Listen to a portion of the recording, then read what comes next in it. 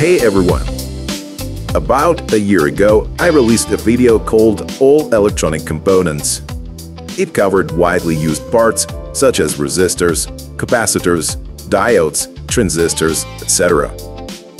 Today, we're going to discuss rare, even exotic devices that were not included in the first video. Their names are probably familiar to you, or maybe not. We'll see. This is Ron Mattino. The first component we'll talk about today is called the thermistor, or thermal resistor. A thermistor, as you might guess, is simply a resistor whose resistance changes depending on temperature. Thermistors are used in circuits where temperature affects operation, either the ambient temperature or the device's own temperature, and hence needs to be monitored. I won't be wrong if I say that every one of you carries a device with this part in your pocket every day.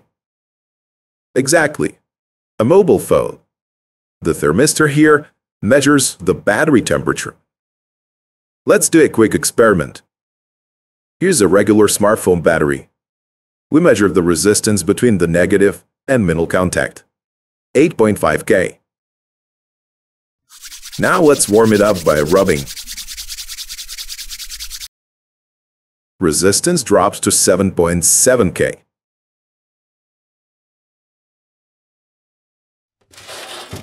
And here's a battery that's been sitting in the freezer its resistance is 15K. Obviously, there is a thermistor inside the battery. The schematic symbol for a thermistor is basically the resistor symbol with a little t and a diagonal line. Based on operation, these devices are divided into thermistors and posistors. In a thermistor, the resistance drops when temperature rises exactly what we just saw. In a posistor, resistance increases with temperature. So one has negative temperature dependence and the other has positive. Thermistors are labeled NTC, posistors PTC. In datasheets, you may also see a minus T for thermistors and a plus T for posistors right on the symbol. There's another neat use for thermistors. They're put in series with the mains input of power supplies to limit inrush current when the large input capacitor changes. For example, in this PSU, this green part here is a thermistor. The reed switch is a component with tiny contacts sealed inside a glass capsule. The capsule is filled with nitrogen or inert gas and the contacts change state in the presence of a magnetic field. So by bringing a magnet close, you can make it switch circuits. Reed switches come in three basic types. Normally open, normally closed, and changeover. In normally open, applying a magnet closes the circuit. In normally closed, it opens. Changeover combines both.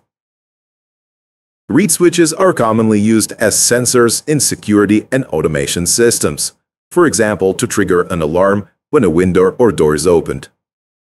Because the contacts are sealed, reed switches can work in dusty, humid, or aggressive environments.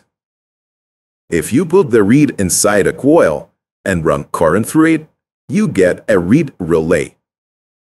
Reeds last a long time because there's almost no friction between parts. But they do have disadvantages. Limited switching speed. They're not suitable as precision position sensors.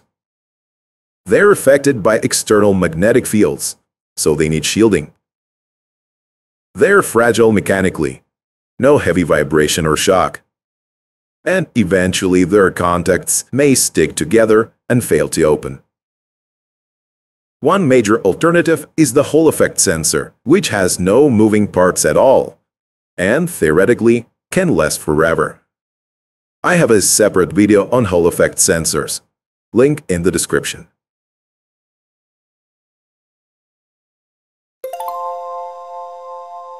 The varistor is a semiconductor device whose resistance drops sharply when the applied voltage exceeds a certain threshold. The name comes from various changing resistor. Varistors are used to protect circuit from voltage spikes and surge pulses. You can find them in almost any power supply, including ATX units. Let's look at this Chieftec GPA 500S. The mains voltage goes through the power switch, fuse, choke, and common mode filters to the rectifier. And we can see the varistor placed across the mains, labeled Xeon R1. Its threshold is chosen so that normal mains voltage, usually up to 250 volts AC, won't trigger it. But if there is a spike above that, the varistor conducts sharply, shunting and dissipating the spike as heat. What happens if the mains voltage rises and stays high, for example because of a neutral break? The varistor conducts a huge current and the fuse before it blows, thus protecting the rest of the PSU.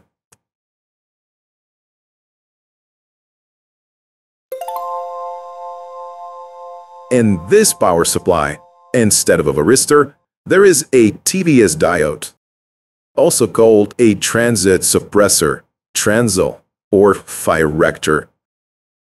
It works kind of like a Zener diode. In forward direction, it's just a diode, in reverse direction, it conducts when voltage exceeds a certain threshold. But unlike Zeners, which increase current gradually, a TVS diode switches almost instantly and its internal resistance drops to almost zero. TVS diodes protect gear from voltage spikes just like varistors, but TVSs react faster. TVS diodes can also be bidirectional, for AC lines, or unidirectional, like Zeners for DC only. In hard drives, you'll find low voltage suppressors, one on plus 5 volts rail, one on the plus 12 volts.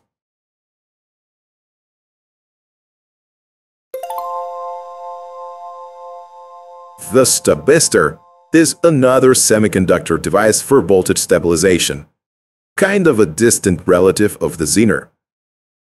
Stabistors were mentioned in literature back in the 1960s, so they've been around for a while. They're also called thermistors. A stabistor is basically a diode used in forward direction, unlike Zeners, which are reverse. Its stabilization voltage is low, about 0.7 volts, same as the forward drop of a regular diode. The main difference is that a stabistor has a precisely defined forward voltage. That's why it's often called a reference diode. You can connect two or three of them in series to get 0.4 volts or 2.1 volts. For that purpose, some stabistors are manufactured as multi-element stacks in a single package. Unlike Zeners, stabistors have a negative temperature coefficient, meaning at constant current, voltage drops as temperature rises. Zeners, on the contrary, have a positive coefficient. So stabistors and Zeners can be paired together to compensate for temperature in precision voltage regulators. That said, modern circuits usually use better options. For example, the TL441 shunt regulator, so stabistors aren't as common today.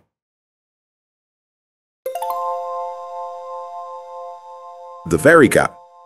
The name literally translates to variable capacitor. In reality, it's not a capacitor. It's a semiconductor diode whose capacitance depends on reverse voltage. You'll see varicaps in tuned circuits and filters to set frequency. The schematic symbol looks like a diode that's not accidental. The p-n junction of any diode has what's called junction capacitance. If you reverse bias a diode, it stops conducting and turns into an insulator, while its anode and cathode become capacitor plates. The higher the reverse voltage, the thicker the junction barrier, and hence the smaller the capacitance. So, by changing reverse bias, we can electronically tune capacitance. For what it's worth, any diode does this to some extent, but varicaps are designed to have a large tuning range, 3 to 5 times or more. Varicaps have very low losses and a tiny temperature coefficient, which makes them perfect for RF circuits where capacitance is measured in fractions of picofarads. Here is the typical varicap tuning circuit. LC tank, varicap as part of it, and a variable resistor that sets the bias voltage. Notice the varicap is reverse biased. That's important. C1 isolates DC, so the tank isn't shunted. R1 prevents the pot from loading the tank and messing with resonance. In modern digitally tuned receivers, there are no potentiometers. Instead, the CPU sends binary values to the digital to analog converter, the DAC, and the DAC voltage biases the varicap. Varicap specs Match reverse voltage 32 volts. Nominal capacitance at 1 volt 230 to 280 picofarads. Tuning ratio 20x between 1 and 30 volts. So, at 30 volts, its capacitance is around 12 picofarads. High-power varicaps used in frequency multipliers are called varactors, from variable reactance.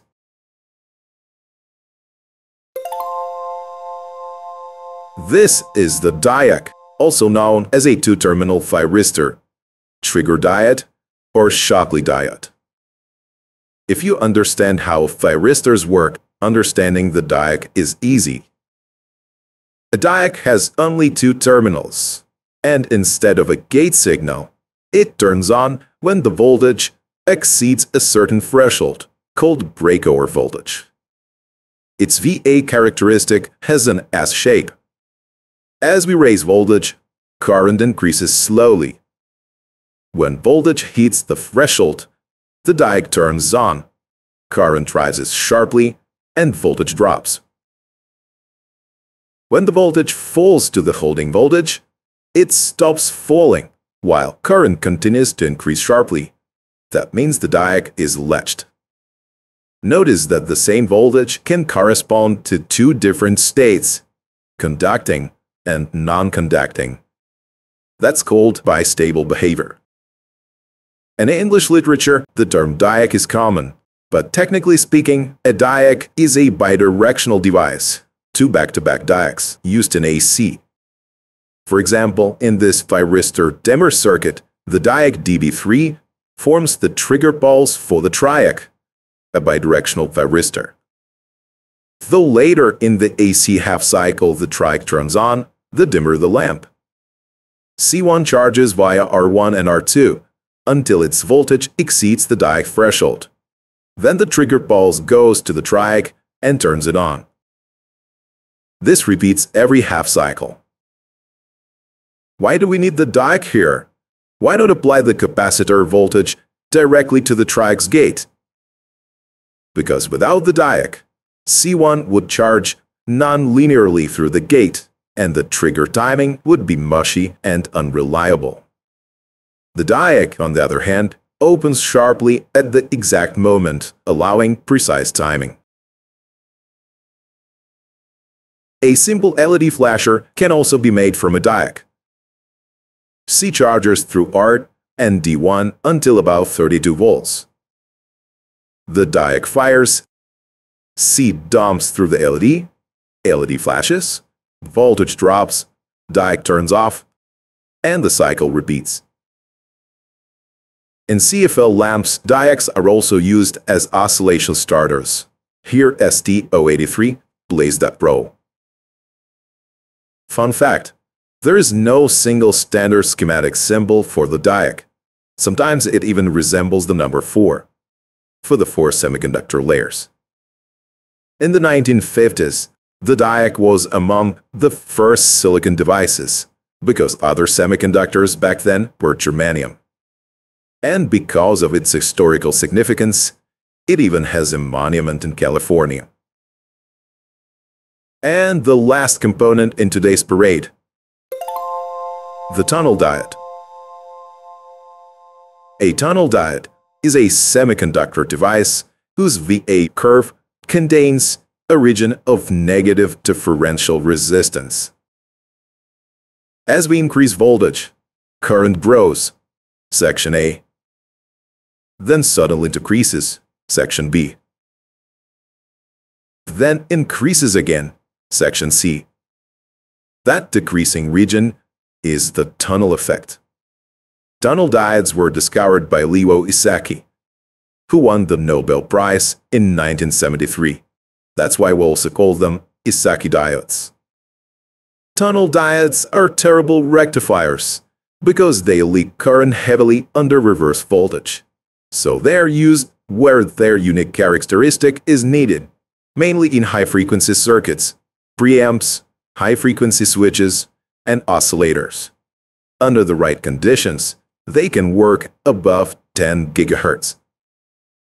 Here is a typical tunnel diode oscillator circuit. R1 sets bias so the diode sits right in the negative resistance region. R2 sets current for the tank circuit.